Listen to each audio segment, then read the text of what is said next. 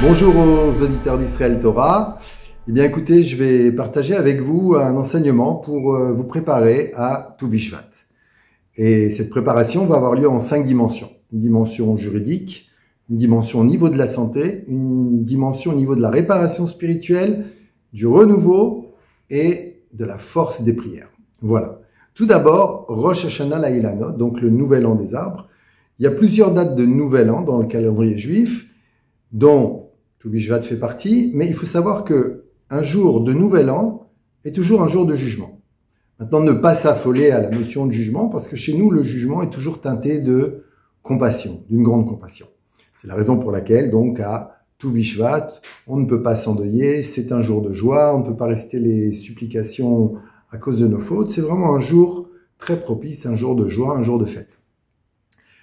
Commençons avec les, cinq dimensions de Toubishvat. La première dimension est la dimension juridique. C'est-à-dire que la date de Toubishvat, du 15 Shvat, permet la datation. Par exemple, en fonction qu'un arbre soit planté avant ou après le 15 Shvat, il aura un âge différent. En fonction du fait que les bourgeons qui, euh, annoncent les, futurs fruits sortent dans l'arbre, avant ou après Toubishvat, on va pouvoir déterminer à quelle année l'arbre appartient et ça va avoir des conséquences en termes, par exemple, de Shemitah, de dire que la récolte fait partie de l'année de Shemitah et aussi en conséquence de prélèvement, de Maasrot, de Trumot. Ça, c'est pour la dimension juridique. En ce qui concerne la santé, eh bien, sachez que les fruits, le monde végétal est jugé à Toubishvat. Dans quelle mesure? Il n'a pas fauté. Dans la mesure où Dieu va octroyer aux fruits, aux légumes, va octroyer à la végétation générale leur potentiel curatif, leur potentiel de santé, leur potentiel de vitamines. C'est la raison pour laquelle, à Toubishvat, on priera Dieu de manger des fruits, des légumes, tout ce qui concerne le domaine végétal, afin que ça soit empli de, de, de bonnes forces, de bonnes énergies, qui fassent qu'on n'ait pas besoin d'aller chez le médecin. Oui, tant que ça. Ça, c'est pour la deuxième dimension. La troisième dimension, c'est la réparation spirituelle. Il faut partir du principe que chaque chose qui existe a une dimension duelle qui s'appelle le corps et l'âme. Donc euh, tout ce qui a un corps a forcément une âme. On comprend ça pour l'homme, mais il faut savoir aussi que ça s'exprime dans les domaines euh, minéraux, animaux et végétaux. C'est-à-dire qu'une chose ne peut pas exister si elle n'a pas une âme qui l'accompagne. Au niveau des dimensions inférieures de l'existence n'est pas une âme comme la nôtre, mais c'est ce qu'on appelle un nitzot de Gdusha, des étincelles de sainteté qui donnent la vie au corps du fruit, par exemple, en question. Maintenant, ces étincelles de sainteté qui donnent la vie, elles ont aussi une fonction réparatrice, dans la mesure où lorsque nous faisons la bracha en mangeant, nous récupérons ces étincelles de sainteté à l'intérieur de nous, et plus exactement, elles viennent réparer notre âme. Pourquoi? Parce qu'il faut savoir qu'il y a un principe que lorsque nous fautons, nous perdons des fragments de notre âme.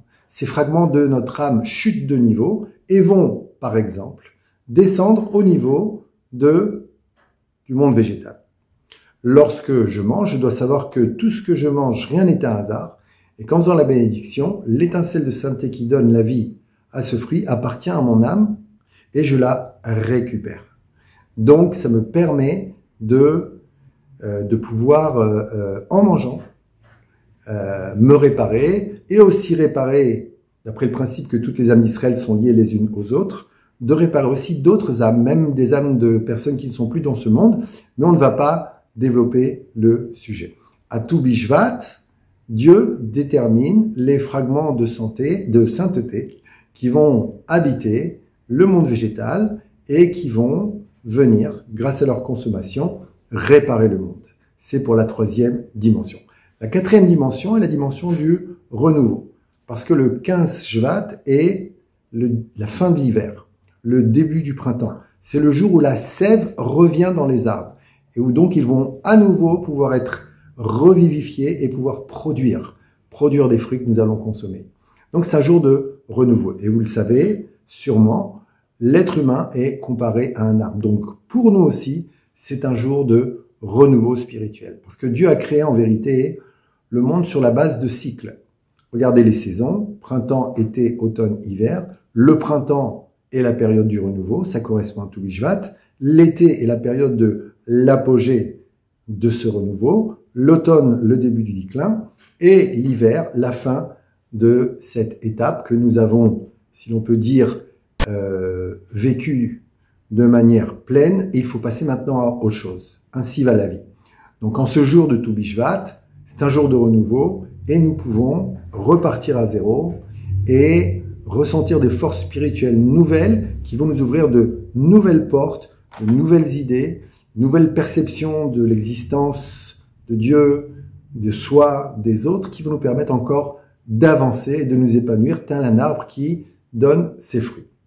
Enfin, la dernière dimension qui est connectée aux quatre précédentes, c'est la dimension de la force des prières, puisque les sages nous enseignent que en ce jour de Toubishvat, les prières sont spécialement écoutées. Donc on fera attention en ce jour à prier pour le peuple d'Israël, pour les gens qu'on aime, pour soi, pour se renouveler, pour avoir des fruits qui vont nous donner la santé, qu'on n'ait pas besoin d'aller chez le médecin, pour être capable de faire de belles réparations spirituelles en mangeant, de recevoir de bons fruits. Et voilà, et toutes ces bénédictions, c'est ce que je vous souhaite, c'est ce que je nous souhaite. Et euh, je vous souhaite une bonne fête de Toubishvat, à vivre dans la joie, en famille, dans la couleur de tous ces fruits que vous allez consommer en ce jour. Et je vous dis bonne fête de Toubishvat, à bientôt.